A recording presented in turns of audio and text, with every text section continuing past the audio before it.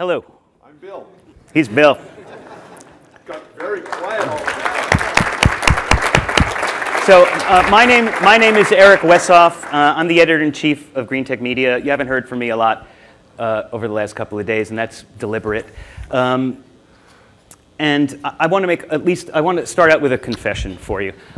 I'm a deadhead, and I've been to 100 Grateful Dead shows, and I've seen the back of Bill's head at many of them. It was Now, why would that be a confession? That should be a badge of honor. Yeah, Like well, having, so- this like is having solar out, panels on your roof. This is going out to the world, and being a Grateful Dead fan has a whole set of subtext behind it. Anyway, all um, good. Uh, so like solar, all good. we're going to be talking about solar. We're going to be talking about the Grateful Dead. We're going to be talking about marketing solar as well. And uh, on the subject of, of, of marketing solar, uh, Kelcy Pegler the third, Uh, junior. Um, I'm the third, okay, that's it. My son Um, is the third. Is the and my dad wanted a fourth, and this is, I you can see him how this is going to go, right? Um, so, uh, you know, let's just roll the film to start with, okay? Oh, let's we just, have a let's film. Just play that. Let's just play that video. It's a feature film? Yes, it's at the Walton residence.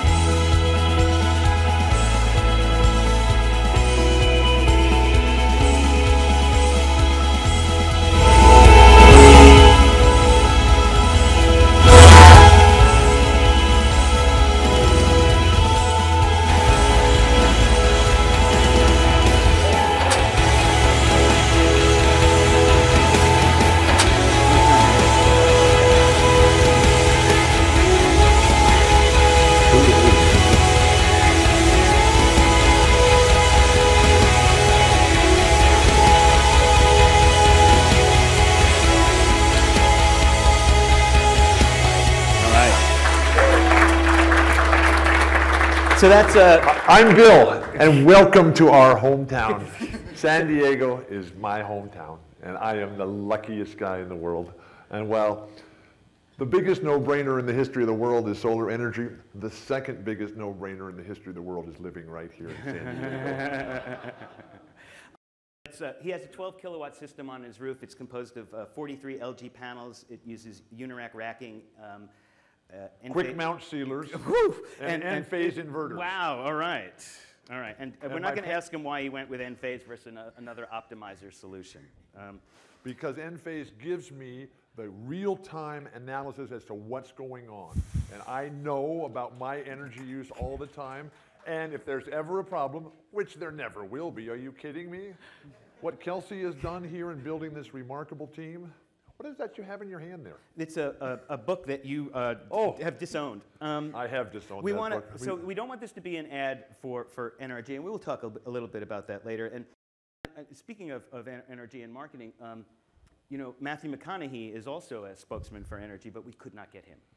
well, And we're not allowed to say his name. Oh, is that true? Uh, And you said his name.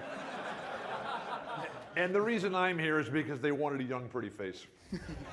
So you've been, you've been, you've been grilled, you've been worn down to a nub with technology and regulations and policy for the last couple of days, and we want to provide a little bit of, of lightness, but not just entertainment. We want, we want to be inspirational because um, at, sometimes we forget we're in a, a world-changing business, and it, it doesn't hurt to get to step back a little bit and, and, and, and, and understand what we're really trying to do.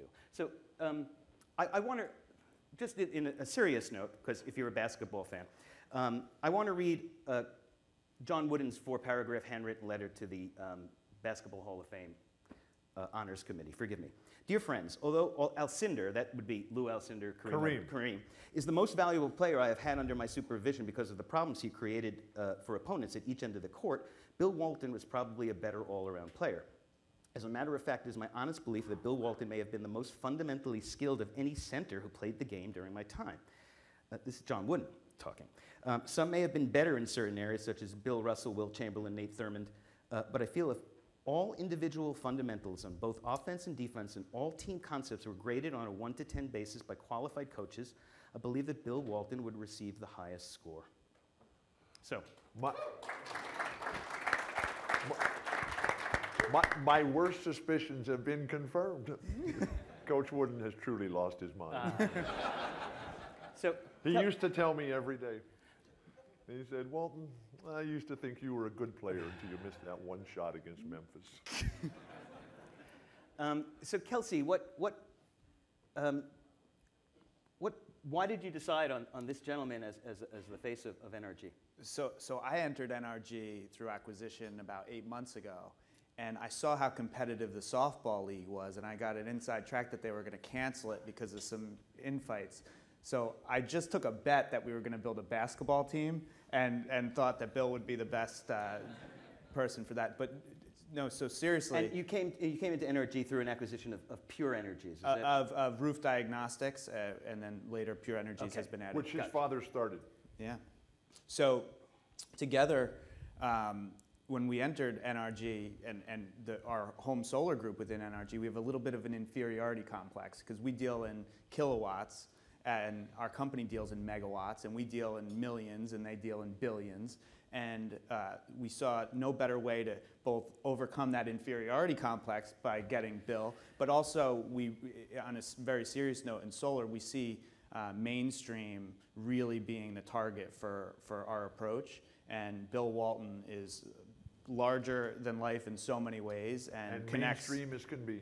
Yeah, it's and and it's been uh, so fantastic, and, and Bill has been uh, more than we've asked for. And I'll finish by saying this: we spent a lot of time with our sales team uh, a few weeks ago, and when you spend time with this sales group, you wonder how they have so much energy.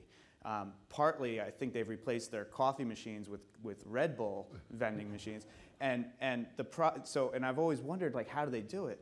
And Bill has just exacerbated this problem because he has more energy than they do, and they have a problem. So it's, it's, he's been a really awesome addition and uh, been the engine of, of our success. so, lately. so I think And how cool is it to be a part of a special team? And that's really been the dream of my entire life. Yeah. Chasing it down, my parents, the most unathletic people you've ever seen in your life. Uh, uh, they have no interest in sports, but they have interest in important issues in the world. They have interest in education and arts and literature. And what they gave to me as a foundation then spurred me on to chase what I saw as basketball being the most perfect game of all, where all you have to do is wait for the opening tip, which then leads to solar energy, which all you have to do is wait for the sun to come up. And if, if you have enough property around the world, it's just coming in all day long because that sun just keeps shining and it's absolutely perfect. And as we, at the close of the conference, in basketball, when the games are often won or lost, at the very end, it's called game winning time. Now, the greatest player that I ever had the privilege of playing with was Larry Bird. And Larry Bird, at the end of the game, we'd be sitting there in the huddle, standing around our coach, K.C. Jones, the most like John Wooden of any coach I ever played for. And he'd be looking at the clipboard, kind of figuring out what we're going to do and stroking his chin. And it was unclear because in that moment, the moment of truth, there's always doubt, hesitation, and indecision. And so Larry, who was on fire every game, Larry would reach in and if you ever look at Larry, his hand, his right index finger on his shooting hand, he took a softball on the end of it while he was playing at Indiana State in Terre Haute in his senior year. And the finger is just crooked as can be, and we could never figure out where Larry was pointing, right? So Larry, as K.C. is holding the clipboard, Larry reaches in and says, K.C., just give me the ball right there. Come on. And K.C. then just he gets firm control again, like Jeff is trying. Eric, excuse Eric, me, is Jeff. trying to get. Sorry.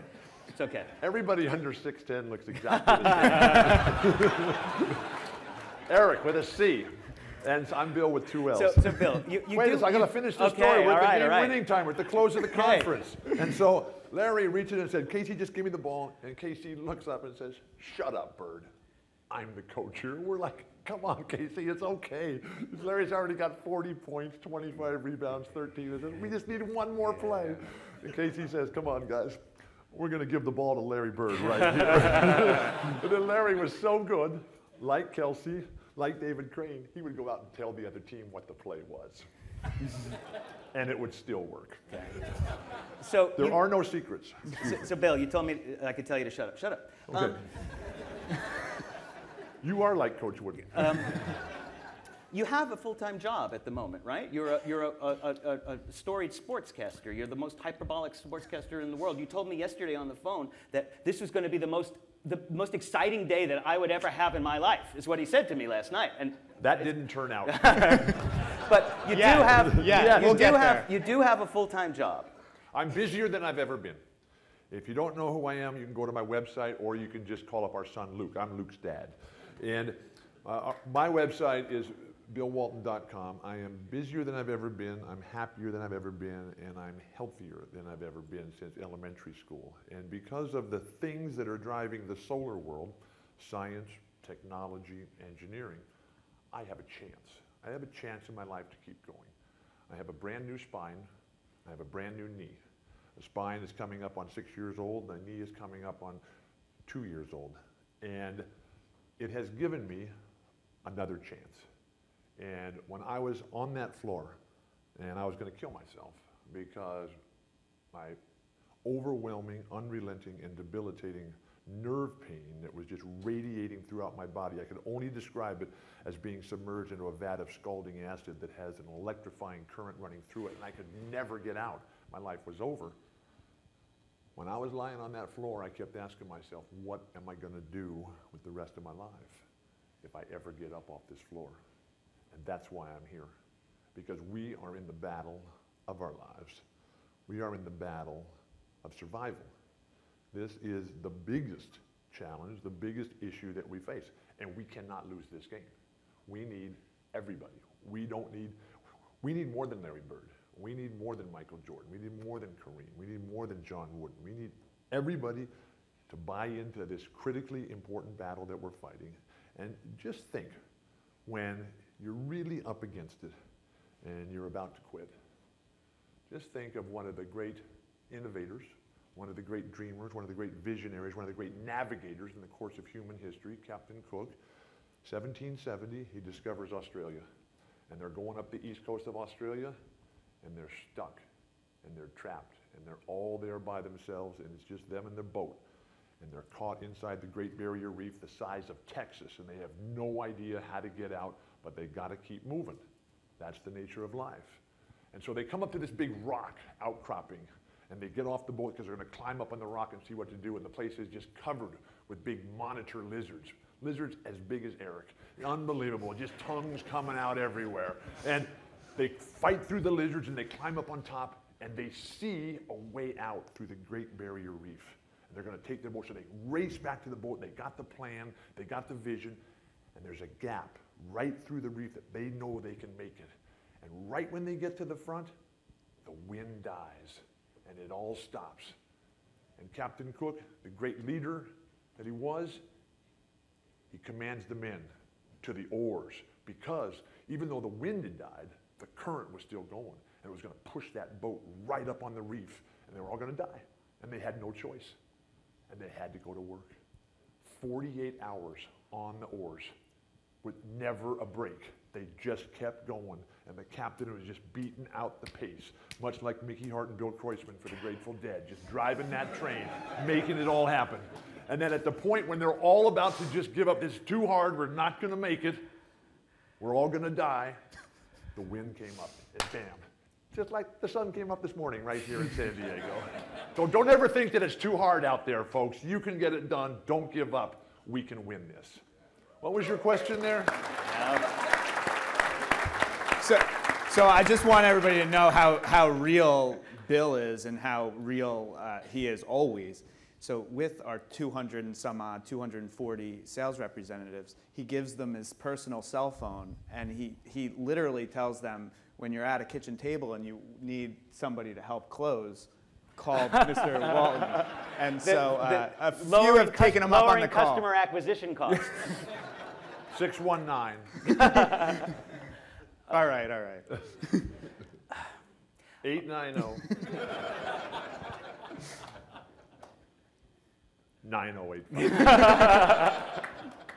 I'm the luckiest guy in the world. All right. Um, can you, I- you know, I, I, I don't want, can you tell us a little bit about the, um, the construct, I know this is a mundane question, but about the installation on your roof and how that went and, and the process, if there were any glitches, if it was, uh, I'm just so glad that Cortez, our dog, Cortez, the greatest dog in the history of the world, did, did not get out. okay, Because all right. It's, it's a big house. It's one of the oldest homes in San Diego. It does not have a regular roof. And Robert Bressler, our guy here in charge of installation, and he was just brilliant. He was out there and he was climbing all over the place and up and down and all over the roof. We don't have just one roof surface. This is a house that was built 90 years ago and it's been added onto many times. We've been there for 35 years, much to the neighbors' dismay.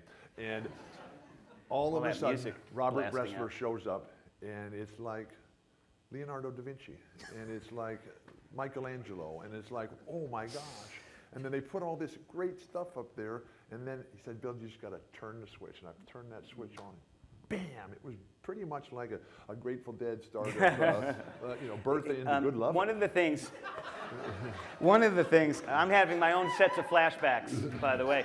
Um, one, one of the things that's powered in Bill Walton's house is a, a Meyer sound system. Is that correct? Absolutely. John and Helen Meyer, you know, th- this whole crowd, this whole audience, your lives, innovation, science, technology, all the things that I'm totally into, all the things that are going to save us. It's already saved my life so many different times. It's going to save the world. And, you know, this whole sense of how we're going to get to the promised land. It, the, the theme of this conference is marketing and to see what John and Helen Meyer have done here. Because John and Helen Meyer are friends of ours in Berkeley, and they're San Francisco folks. And in the, in the 60s, they come walking out in the middle of the night of a Grateful Dead concert. And, they're, and they look at each other, and they're just teenagers in love. And they look at each other and they say, that sounded awful. And so they went back to their home in their garage in Berkeley, and they started Meyer Sound System, which is the number one sound company in the world. That and might to be able be to a wa- non-hyperbolic moment. and- and Okay. to walk in here, go to the, their offices are on San Pablo Avenue. Just go in there and tell them you're friends of Bill's, and just walk in. They'll give you this tour and the constellation and the, and the theater that they have, and, and they they do all the big tours. They do all the concert houses throughout the world, and to walk in here to the Hyatt Hotel, and to see these sound speakers right up here, just absolutely fantastic. And if you believe if you believe that you're not capable of getting something done, that you're too small as just one person, or your company is not large enough, it hasn't scaled up enough to get it done, if you have that doubt, hesitation, and indecision that's always there in a moment of truth, you've never spent the night in bed alone with a mosquito. Because that sense of, oh my gosh, this little tiny thing, little old me. And we talk about the marketing, we talk about John and Helen Meyer, we talk about the, the Pegler family and all they're doing and what David Crane has been able to do. When we grew up, we never believed that anybody like David Crane could be in a position of power that he is in today. Kelcy, 32 years old, just getting started, and the vision and the i- i- incredible sense of doing the right thing. Yes, economics, critically important. The moral and ethical positions, the willingness to, to take a leadership role, to be able to stand out in front. And that's why, why Eric, with a C, is carrying this book that, no, that's not, I brought you a couple of books that'll hope, hopefully carry you All right. to the promised We're like. Oprah. Oh, Grateful Dead. One is, I wrote the foreword to both of these books. One is The Marketing Lessons of the Grateful Dead. And what every business can learn from the most iconic band in the world. All right. The next one is Dead Letters, which I also wrote the foreword to. Thank you. And I'm proud of those I, forewords. I'm familiar with both of these. I'm, Oh, you are? I'm, I'm kind of. Okay, but the say. sense of how people, people change the world. And that's why I'm so proud to be here, to be on this team, and to be in this space. because this is the biggest no-brainer in the history of the world. All right, he has a tagline that he's given us for that, and uh, you can you can use that. Uh, it's not trademarked or anything. Oh, it actually is trademarked. I think I saw I saw it. We're rooting for the industry. okay. So you- okay. you- good. Good answer. Good answer. We're on the same team as that goes. When Use we it. win, we- we're interested in everybody winning. That's right. We're- You know, this is, Martin Luther King said it best. We may have all come here in different boats, but we're all in the same boat now. And if we don't work together in the political and policy fights that we're going to be in, everywhere, because it, it's never easy. If it was easy, we'd all just be sitting over at my house. We'd all just be over here at Mission Beach right now. And, you know, I'm looking forward to the people like Goal Zero who can give me a, a, a bicycle helmet or a bicycle jersey that has the solar panels in it so that I can be charging my phone while I'm riding my bike and charging my lights for when it does get dark out there. Goal, Goal Zero is another company that was acquired by NRG, and in the uh, spirit of uh, journalism, they also had an enormous uh, recall of late. So, sorry. Well, so so in the spirit of, uh, of of talking about how awesome their products are, I will say that Goal Zero has some of the coolest things you can uh, create. And and a, a short um, point. We have so much success now with the tangible items that are Goal Zero at the kitchen table, while we're talking about this intangible uh, PV solar system that, that's going to go on a roof. So there is a synergy between the, the Goal Zero product and, and, It's- and rooftop. It's fantastic. okay. Solar everywhere. That's what we want. Yep. I want solar on my teepee. He has a I want- TP. He wanted solar So panels Bi- on so his Bill- TP, but they weren't able to put it on his Bill TP. not only wanted like every inch of roof that could get a solar panel to get it, but he wanted his teepee, a real Bill Walton sized teepee to get solar panels. And I, I still think he's mad that it, they're not panels. But let's talk about how, while we're in this fight, that everyone in this room, number one, has been helped by somebody else to get here, and number two, understands that risk and failure are part of the game of life. And so when we're going forward, don't ever get into that mindset of we have to wait for it all to be perfect before we do the next thing. Think of it in terms of my spine.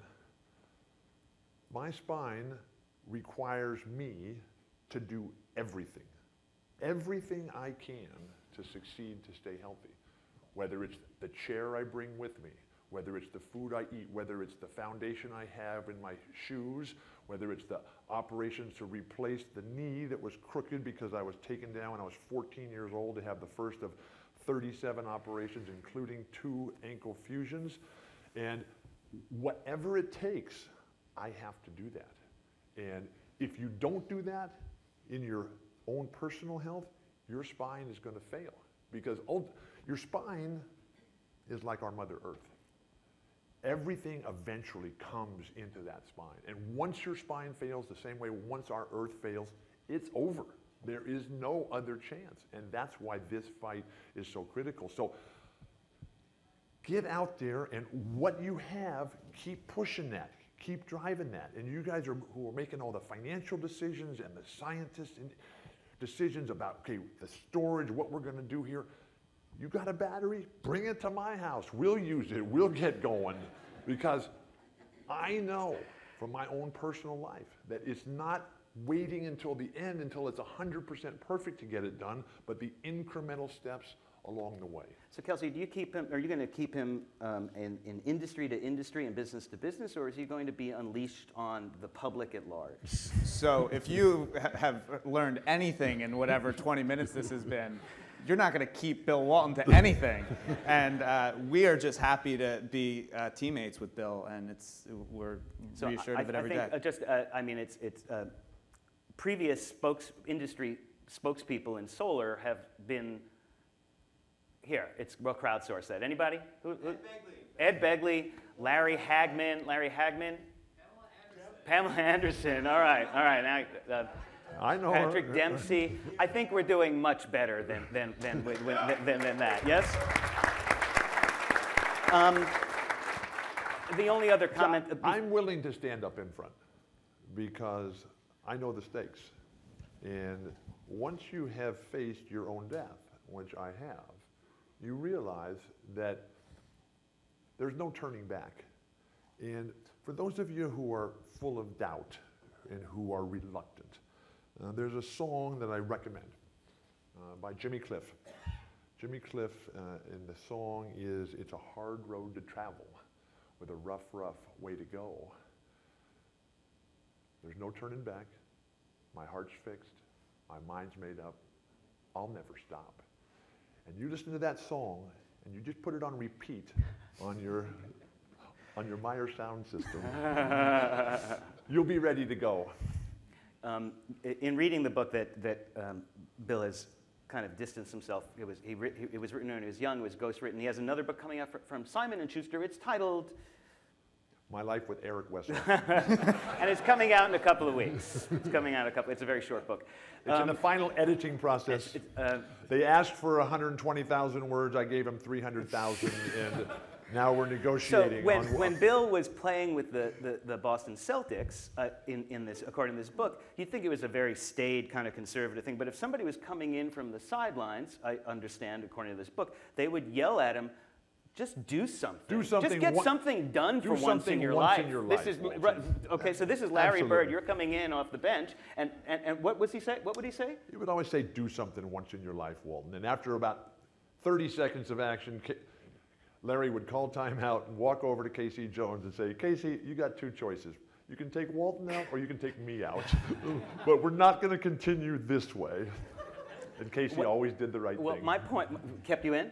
No. Uh, my point, my point was that um, in, in good spirits, uh, if there's a if there's a final word for, for, for you as you leave, there are two, two or three panels after this. Don't don't don't don't go just I yet. thought this was the game winning. yeah, yeah. We're the- going the- into there- overtime. There's a shot clock. There's a shot clock, unfortunately.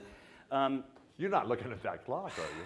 You can talk as much as you want, and it, if, it's up to them to get you off the stage. I'll stay around Okay. afterwards, sign autographs, take pictures until the last person is gone. But just like Larry Bird said, um, go get out there and do something with your life. Okay. I'm trying. I wasn't talking to you. I, I think you. I'm, I'm trying. Is that all you need? You just It- need that every day? I have the cha- I love to be challenged, and I, I love to argue. And one of the reasons that I admire Bill Clinton so much is that in 1994, when he was up against it, he stood his ground, and he said, "Okay, you want to fight? I'll fight, hmm. and I'm willing to fight."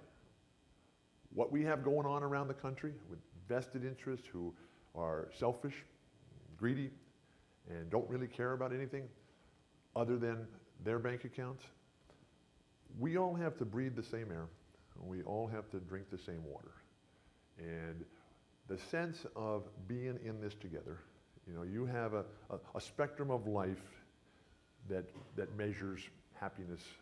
On one end, you have anger, selfishness, greed that leads to, that leads to hatred. On the other end, you have pride and loyalty, selflessness, the team, the commitment, the discipline and the sacrifice and the foundation that leads to ultimately happiness. But those steps of happiness, health, family, home, solar panels on your house, and the dream that tomorrow's going to be better. And when you have that linear progression towards the dream, then anything is possible. And I have that dream. But I wouldn't be able to have that if I didn't have the steps along the way. And just think of your own body as the earth. And I'm old enough to remember when they told us that cigarette smoking was fine. I'm old enough to, to remember when they said that, oh, smog, all that brown air out there, that's all fine. I'm old enough to remember when they said the worth, that the world is flat. I'm old enough to I'm old enough to remember when they said that the, that the sun revolved around the earth. And I'm old enough to remember when they said that fluorocarbons were all fine. Well, we have learned through education, through innovation, through creativity, through people willing to accept and take risk and risk failure, risk everything to stand up there and say, no, that's not right. And this group right here is leading that charge. And I want to be a part of that. And I'm willing to do whatever it takes. You call me up. My email is bill.walton at billwalton.com. Bill.walton at billwalton.com. You call me up and say, Bill, we want you to do this. And then I'll ask Kelcy, who will then ask, who will then ask Eric with a C if that's okay. All right. Um, how is that for an inspirational palate cleanser?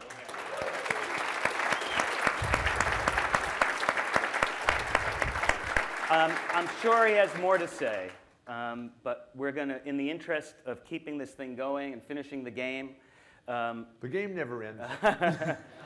just just so watch ESPN. Can we, have, can we have 10 minutes to swarm him and then move to the next? 10, uh, do we want to have any questions from the audience? Does anybody have any questions from the audience to ask Bill Walton, please? Please. I've thoroughly Please. confused all of them. Yes, sir. What's your favorite bootleg? How many children do you have? Which one's your favorite?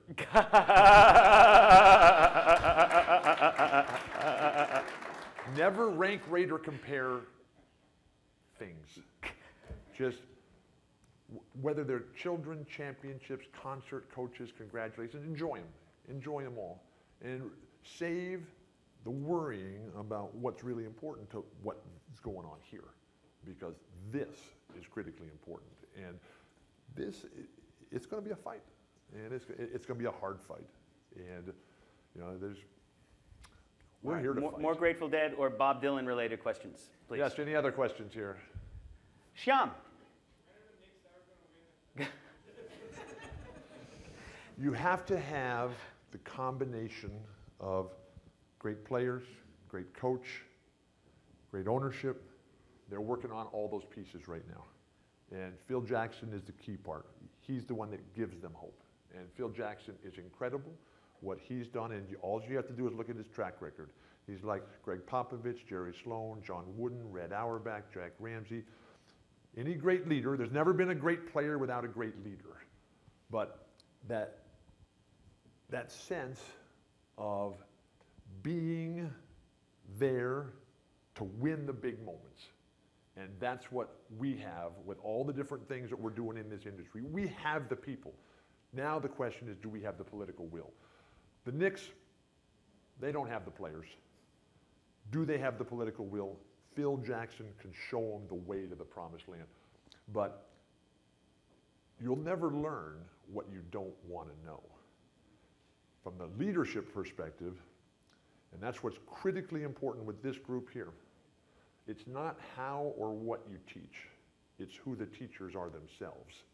And that's why I am incredibly proud as an advocate, as an educator, as an illuminator, someone willing to shine the light. I've got a solar system on my house. I'm willing to do everything like I am with my spine in my own personal life because you build from the bottom up. You have to have that great foundation. And the Knicks have been stumbling and flailing around for so long that they just, their foundation. Patrick Ewing broke my heart 20 years ago. and Patrick Ewing is a Knicks. great player This was one of the more exciting days of my life. So thank you. You were right. You were right. Thank you. You need to set your standards higher and get out more. You got five, six minutes to swarm him. Thank you, Bill. Thank you, folks. Thanks for having us.